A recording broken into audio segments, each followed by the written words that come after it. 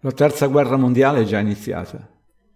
Semplicemente non ci viene detto perché i governi di media disonesti si dedicano a tenerci all'oscuro, impegnandoci con la diffusione di notizie per distrarci. Usano il tempo rimanente per accumulare cibo, munizioni, forniture mediche e metalli preziosi per loro stessi e possono fare questo solo nascondendo la verità della situazione il più a lungo possibile. Il primo ministro serbo Aleksandar Vucic avvertito pubblicamente durante il primo giorno dell'ultima sessione dell'Assemblea generale delle Nazioni Unite a New York che il mondo sta per vivere un grande conflitto mondiale che probabilmente inizierà nei prossimi due mesi.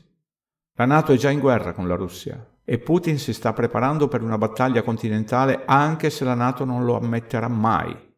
Le condizioni sono già molto oltre il punto di negoziazione o de-escalation tra la Russia e l'Occidente Putin ha capito che ha a che fare con degli psicopatici, i quali non possono essere motivati o dei quali non ci si può fidare, non rispettano alcun accordo di sorta. Vedi la Costituzione italiana negli ultimi due anni e mezzo. Sa che deve combattere o morire. La follia delle nazioni occidentali ha intensificato questo conflitto fino ad una condizione in cui chi per primo userà le armi nucleari avrà il vantaggio ma la Russia è avanti di oltre 30 anni sull'Occidente in termini di armi nucleari e difese antiaeree. L'arsenale nucleare della Nato è antico, per lo più in esecuzione su progetti originariamente progettati negli anni 70, mentre le capacità nucleari della Russia sono avanti di almeno due generazioni, modernizzate con velivoli di rientro iperplananti, capacità di manovra evasiva per missili balistici intercontinentali, missili personici da crociera con capacità nucleare e sistemi di difesa antiaerea altamente avanzati che possono intercettare e abbattere persino i missili balistici intercontinentali in arrivo. Inoltre la Russia possiede armi segrete del giorno del giudizio, ben oltre le loro bombe termobariche, che il mondo non ha mai visto, anche se non penso abbiano realizzato queste tecnologie. L'Occidente è stato completamente investito nel pensiero delirante delle narrazioni fiabesche, vedi missioni spaziali inesistenti, facendo sognare la gente di andare su altri pianeti che non hanno alcun collegamento con la realtà. Non dimenticate che la Russia non è una nazione del terzo mondo.